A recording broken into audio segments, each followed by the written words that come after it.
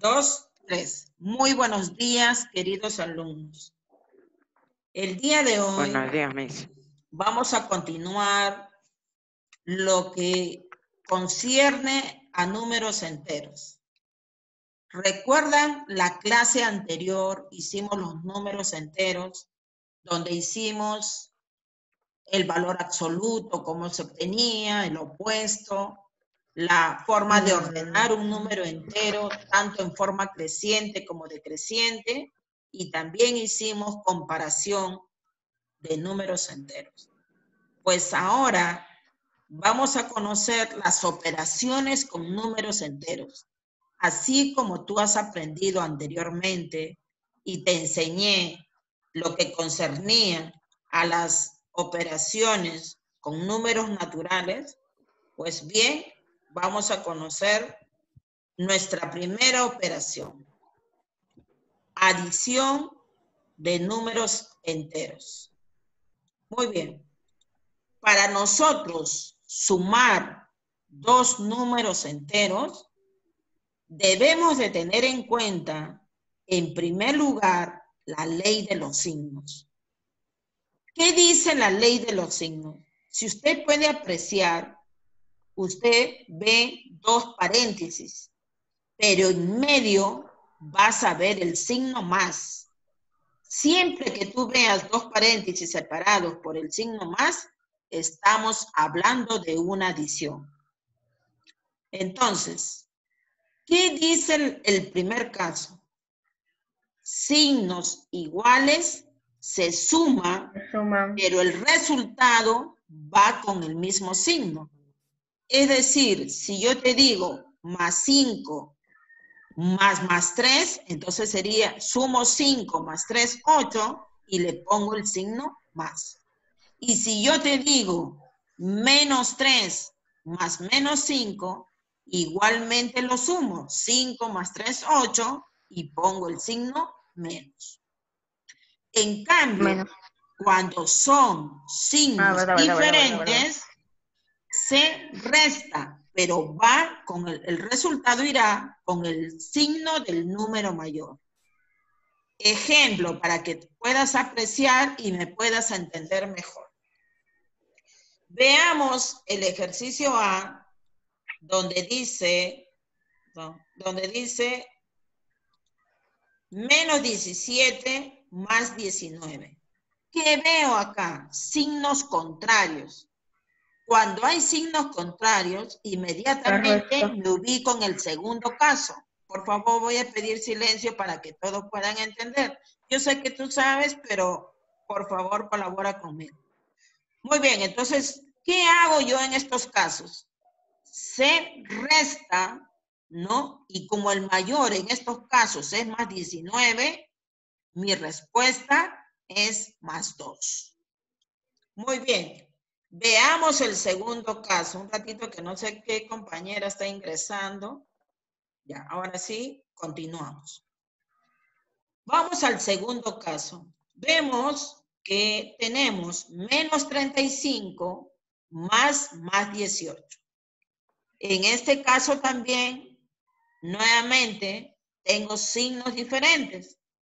Resto y, en este caso, yo me voy a fijar en la cifra, no me fijo en el signo. ¿Quién es más? 35 18. 35. Muy bien. ¿Qué signo tiene? Menos. Menos. Entonces resto Menos. y le pongo el signo menos. En cambio, entre 19 y 17, 19 es mayor y por eso le pusimos más porque tenía signo más. Veamos el tercer ejemplo. Menos 24 más menos 120. Aquí, signos iguales, dijimos que se sumaba, pero va con su mismo signo. Sí, no. ¿ok? En este caso, menos 144. Y en el cuarto ejemplo, también podemos apreciar signos iguales, ¿no? Y vemos ahí, lo sumo, y como los dos están compositivos, Por lo tanto, mi respuesta será más 100. Hasta aquí, ¿alguna pregunta, chicos? No, mis. Ya, muy bien. Vayamos a la siguiente operación. La siguiente operación quizás vas a tener al inicio un poquito de dificultad, pero si tú estás atento y no estás chateando mientras yo estoy explicando la clase, vas a poder entender. ¿Recuerdas cuando hicimos la sustracción de números naturales? Sí. Muy bien. ¿Cómo se llama el primer término? El número mayor, ¿cómo se llama en la resta? Minuendo. ¿Y cómo se llama el segundo término? Sustraendo. Extrayendo. Traendo. ¿Qué es lo que tenemos que hallar? La diferencia. ¿Qué dice en la sustracción de números enteros? El minuendo lo voy a copiar tal como está. Pero ¿qué es lo que voy a variar? Al sustraendo lo voy a cambiar por su opuesto. Quiere decir que si, por ejemplo, me ponen más 9 menos menos 4, voy a agarrar a ese menos 4, lo cambio por más 4. Y el signo menos de resta cambio por más. Y como los dos son iguales, aplico la ley de los signos de la adición. Y dice, signos iguales, ¿qué se hace? ¿Se suma o se resta? Signos iguales, ¿se suma o se resta? Se suman. Se suma. Se suma Suma. y va con el mismo signo. Entonces sería la respuesta más 13.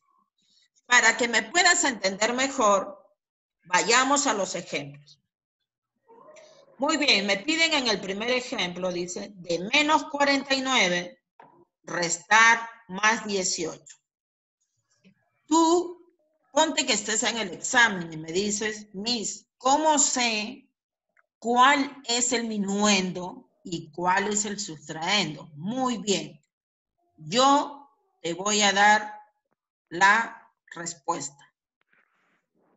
El número que esté pegado a la palabra de va a ser el minuendo. Y el número que esté pegado a la palabra restar va a ser el sustraendo. Entonces, ordeno primero, ¿no? Y mi minuendo lo copio igual, menos 49. Esa palabra restar que tenía signo menos, lo cambio por más. Y más 18 lo cambio por su opuesto. ¿Cuál es el contrario a más 18? Menos 18. Y ahora me voy a la ley de los signos. ¿Qué dice cuando son signos iguales? ¿Se suma o se resta?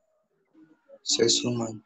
Se suma. Entonces, 49 más 18, 67. Y le coloco el mismo signo. ¿Hasta ahí alguna pregunta? No, mis. No Ninguna. me hizo. Pero Ninguna. también, de repente, tu profesor se cree, ¿no? Y dice, ah, yo voy a confundirlos a mis alumnos para tener más jalados. Y entonces te invierte y te pone primero restar menos 17 de más 85. Entonces, ¿qué hago en estos casos? Primero tengo que ordenar.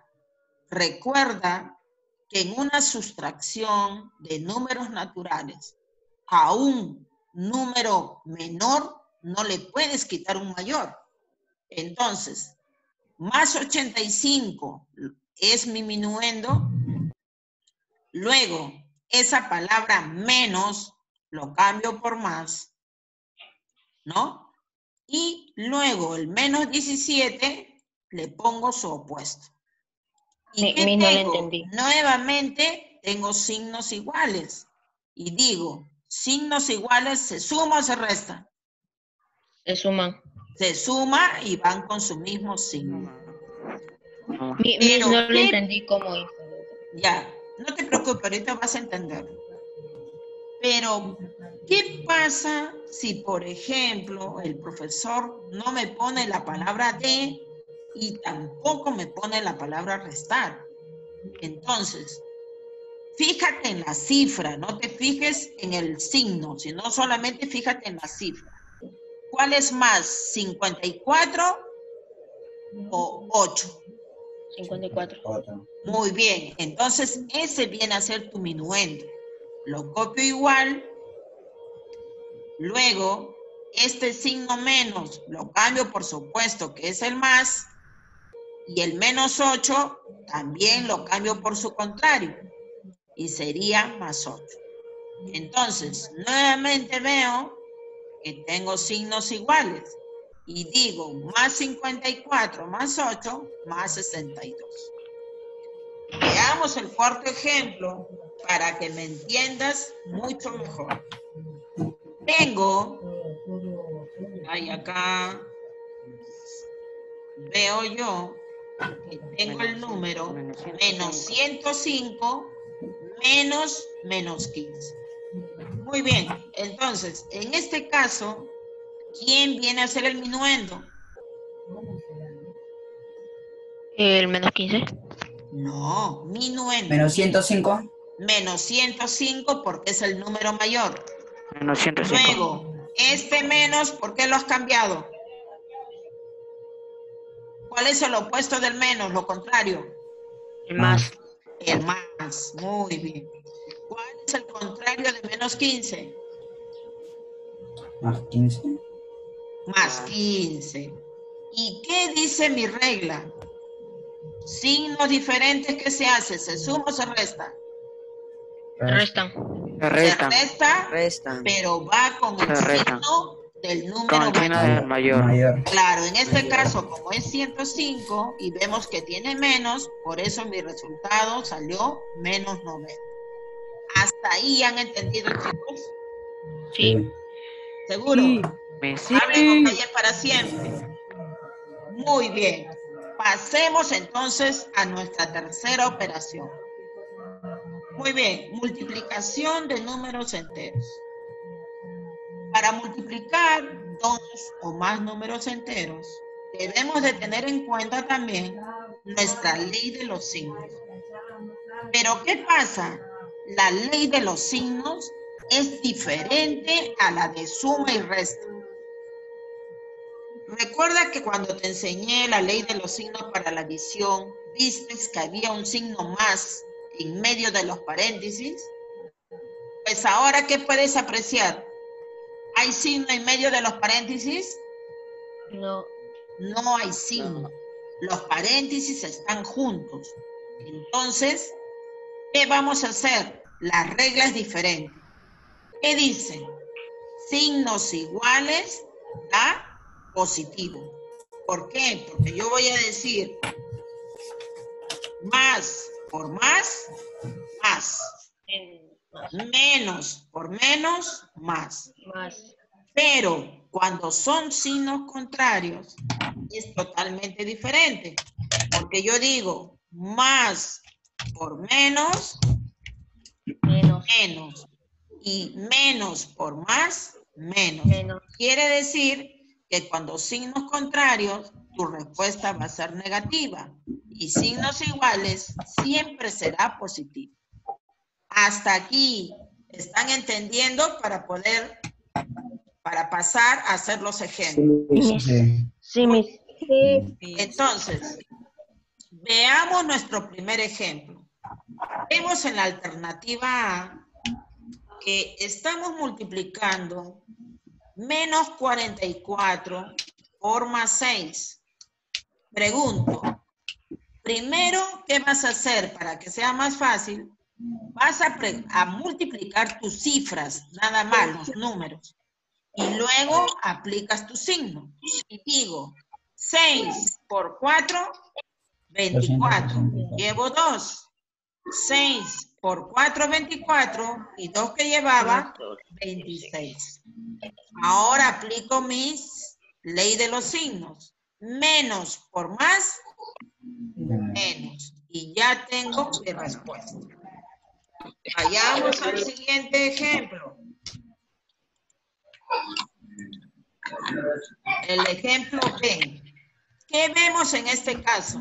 Que tenemos más 85 por más 3.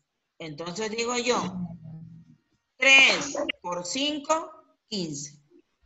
3 por 8, 24. Y una que llevaba, 25. Y ahora aplico la ley. Signos iguales, ¿qué va a salir la respuesta? Positivo. Sí. Entonces mi respuesta será más 255. Cuando es positivo, si tú deseas, no pones el signo. No hay ningún inconveniente. Igual, ¿sabe qué es? ¿Por qué? Porque pertenece a los números naturales, son los Z positivos. Vayamos al siguiente ejemplo. Vemos menos 79 por menos 12. En este caso tenemos signos iguales. Y digo, menos por menos, más. Se- 79 por 12, 948. Vayamos al ejercicio D. ¿Qué vemos? Signos opuestos, su respuesta es negativa y simplemente sería menos 510. Muy bien.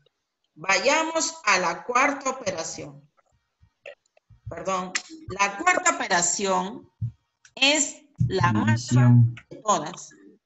Porque ¿qué es lo que único que tienes que hacer? Es dividir. Dividir. ¿Y qué vas a aplicar? La ley de los signos de la multiplicación.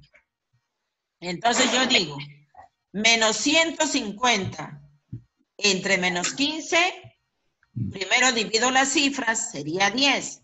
Y menos entre menos, mi resultado será más 10. ¿Por qué? Porque signos iguales, mi resultado tiene que ser positivo.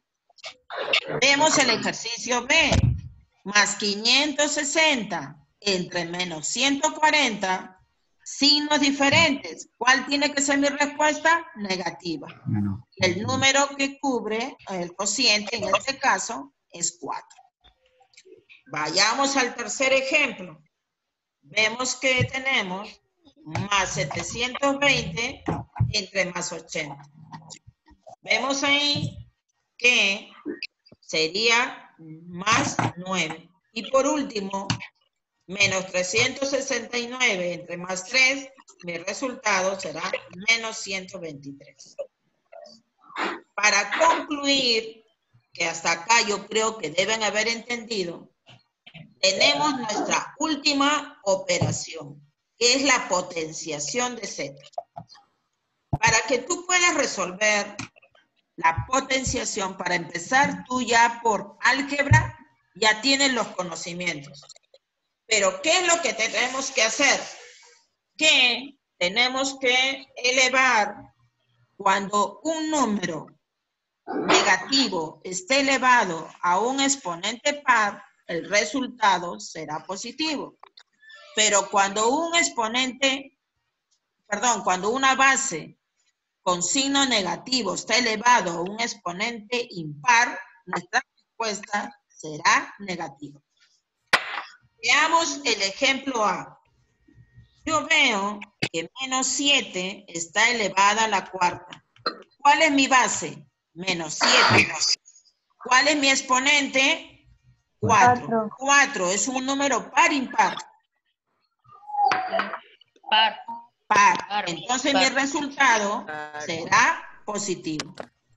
Veamos el ejercicio B. Menos 8 al cubo. 3 que viene a ser un número par impar. Impar. Impar. Par. Entonces mi, mi resultado será negativo. Menos 8 por 8. Vemos el ejercicio C, 18 al cuadrado, sería más 324. Vemos nuevamente menos 5 elevado al cubo, sería menos 125. Si fuera positivo, solamente pones 125. Y en el último ejemplo, vemos que tenemos el último, ¿no? Que es, un ratito, para subiendo la... Eso de que... Vemos el último ejemplo, que es, ¿no? Menos 6 elevado a la cuarta. Muy bien, en este caso, ¿cuál sería mi resultado? 1296, que puedo ponerle más o solamente ya se sobreentiende. ¿Alguna pregunta hasta aquí, chicos? No. Muy bien. No, mis. No, mi. El tema Pero- está fácil. Yo creo que la clase ha estado clara, concisa. Estoy tratando de hacer lo más concreto para que ustedes puedan entender. Recuerden que a partir de la fecha se inician las clases por la tarde para poder trabajar los libros, los cuales ustedes están programados para el día jueves de 4 a 4 y 40. Yo para ¿Para esto voy a cuándo? tener las claves, ya les voy a mandar ahí, ¿no? Los voy a agendar. para que- sí, ¿Cuándo comienzan? Esta semana. El día jueves les toca a ustedes, de 4 a 4 y 40, ya les deben haber comunicado. Y eh, cualquier consulta, cualquier duda referente a este tema, vamos a este, poder conectarnos al foro. Entonces, no sé si hay alguna pregunta. Entonces, recordemos, recapitulando, cuando es la ley de los signos para adición y sustracción, ¿cómo te das cuenta? Porque en medio de los paréntesis hay un signo más. Y cuando es para la multiplicación y la división, no hay signo en medio de los paréntesis. Esa es la diferencia. Enseguida, cuando es potencia, cuando está elevado a un- un- una base negativa, está elevado a un exponente par, el resultado será positivo. Y cuando una base negativa está elevada a un exponente impar, su resultado será negativo. Si es positivo, no hay ningún problema. Usted siempre el resultado será positivo. Muy bien. ¿Alguna duda, chicos? ¿Todo ok? Sí. Recuerden de copiar. La clase en su cuaderno y eh, el cual debe estar, ¿no? Copiado los temas y resueltos. He adjuntado el día de ayer los ejercicios en, la, en lo que es las actividades. Y también dentro de unos minutos voy a subir el video para que ustedes puedan ir copiando la clase. ¿Ya? Cualquier cosa, este, me pueden consultar. Ya vamos a ver la manera también de evaluarlos. La- las hojas en blanca, esas que están en el libro, donde dicen eh, la práctica, vamos a ver cómo hacemos para que ustedes me puedan solucionar. De repente en la, en la hoja de actividades puedo mandar los ejercicios y ustedes puedan, ¿cómo se llama?, solucionarlo, ¿no? Ya, a ver, voy a hacer algunas preguntas, a ver. A ver, para el alumno Diego, creo que hay. Diego, no puedo ver ahorita la relación. Si yo digo, a ver, ¿quién responde? Si yo digo más 5 por menos 8, ¿cuál sería el resultado? Más Menos 40, cinco mis. Menos menos 40. 40. Menos 40. 40. Si yo digo Menos 40. menos 36 entre más 9, menos 36 entre más 9. Menos Vamos a- 17. Menos, No, estamos Menos hablando de 17. división, ¿ah? División. Menos Menos 36. menos 4, entre menos 4. Menos 4. menos 4. Menos 4, si yo te digo menos 3 elevada a la sexta, el resultado, ¿cómo sería? ¿Positivo o negativo? Posi- positivo. Negativo. Negativo. Po- Positivo. No, Positivo. Negativo. Porque el exponente es par. Ok, Ya, y si, por ejemplo, yo te digo más 5 más más 6, ¿cuál sería la respuesta? Más 5 más más 6 Más 11. más 11. Más once. Si yo te digo de menos 20, Más 11, Miss. ya muy bien. Si yo te digo de menos 20, restar más 14, ¿cuál sería el resultado? Menos 6. No, Menos, no. Tienes que convertir, pues. De menos Menos 20, 24. menos Sería 24. Más- 24. ¿cuánto Menos sería? 24. Menos a 100. Sería 24. negativo, Miss. Menos 34. Muy Menos bien, porque 34. tienes que convertir. Menos Primero 34. tendrías que ver cuál es tu minuendo, cuál es tu subtraendo